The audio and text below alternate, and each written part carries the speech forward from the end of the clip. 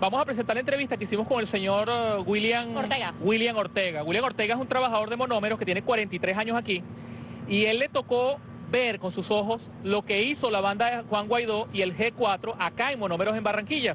Tuvimos una conversación exclusiva con él y sin más preámbulo, vamos a colocarla. Bien, ahora nos encontramos en una de las unidades de producción de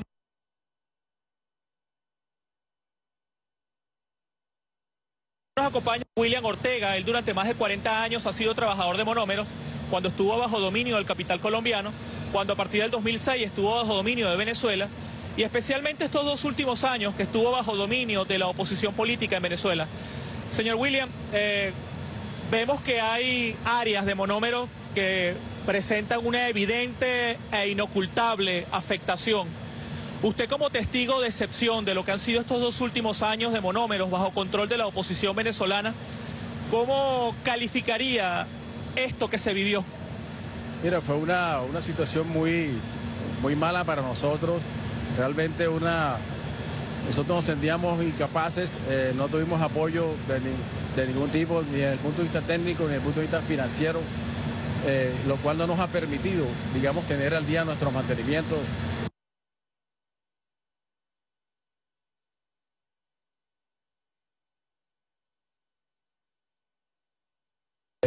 mantenimiento para que estén en este estado. Nuestras plantas siempre fueron, digamos, un ejemplo, fueron de alto estándar. Sin embargo, no hemos podido, no podido, estos últimos años fue más, fueron más críticos todavía, pues eh, no contamos con los recursos suficientes ni con el apoyo, digamos, eh, de un dueño importante que nos apoyara para esto. Eh, lo que tenemos aquí es el esfuerzo prácticamente de nosotros, los trabajadores de monómeros, los, que estamos aquí, de toda la masa de trabajadores, que con la suya hemos, por lo menos hemos mantenido el complejo operando. Eh, por favor, coméntenos un poco lo que estamos viendo a nuestras espaldas. ¿Cómo se llama esta unidad y qué, qué daño sufrió en estos últimos dos años que la ha llevado a esta situación?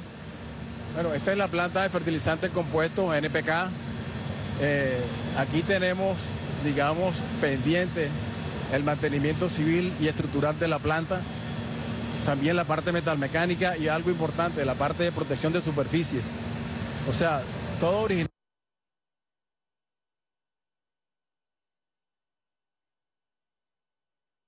Lo que vemos ahora es el resultado de esa, de esa situación, de esa gestión. ¿Cómo calificaría usted el manejo que en estos dos años se hizo de monómeros por parte de los directivos del gobierno de Guaidó? yo creo que fue un manejo irresponsable. Eh, eh, de pronto personal que no tenían la competencia para manejar un complejo de este o para dirigir un complejo de este y sobre todo digamos que no se tenía el respaldo económico suficiente para poder mantener un complejo como esto.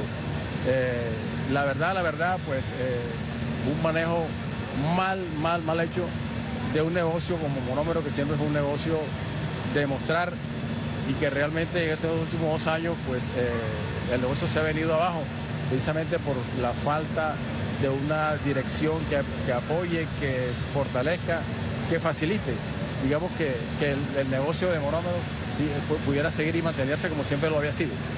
En estos dos años que duró la administración de Juan Guaidó en monómeros, ¿qué daño se le causó a la operatividad de monómeros?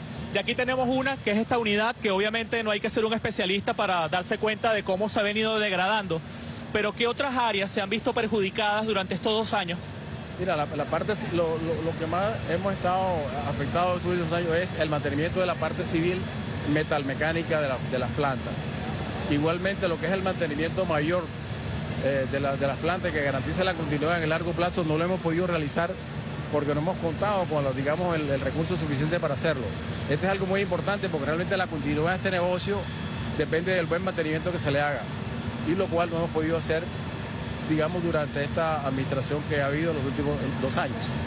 Yo creo que lo que usted dice es particularmente importante, porque precisamente los que fueron responsables de todo esto, los que fueron responsables de la ocupación de monómeros, siempre han afirmado de que ellos, ellos administraron de forma correcta la empresa y de que las cosas se hicieron de forma correcta. Pero obviamente una cosa es lo que ellos dicen y otra cosa es lo que nosotros estamos viendo en este lugar.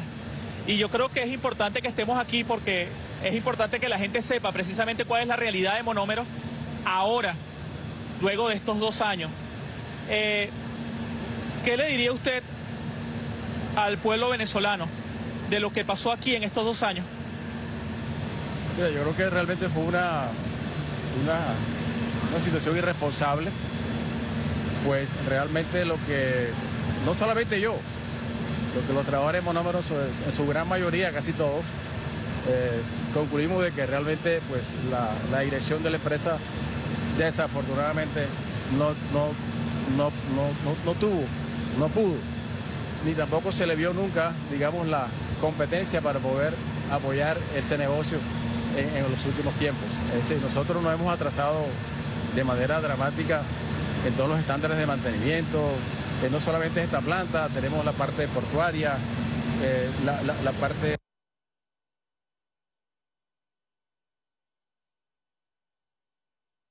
reducida de manera importante. ¿En qué porcentaje? Con un 40%. Ha caído la, la, la capacidad instalada de producción. La capacidad instalada, eh, digamos, por una parte, por falta de disponibilidad del recurso para poder tener materia prima, pero también, digamos, para el recurso para poder mantener el factor de servicio, la integridad mecánica de las unidades de producción.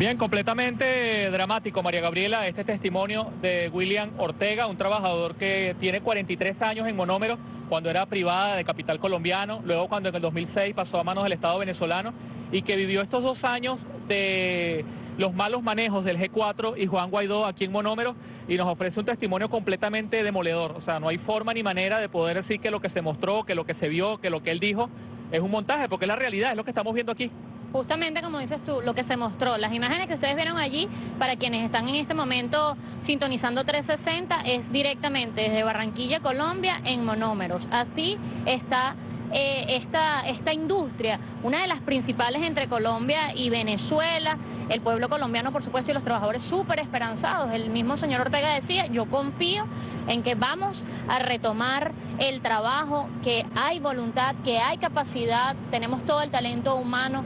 Además, vinieron de Venezuela especialistas en la materia para producir, para trabajar y para avanzar, Boris.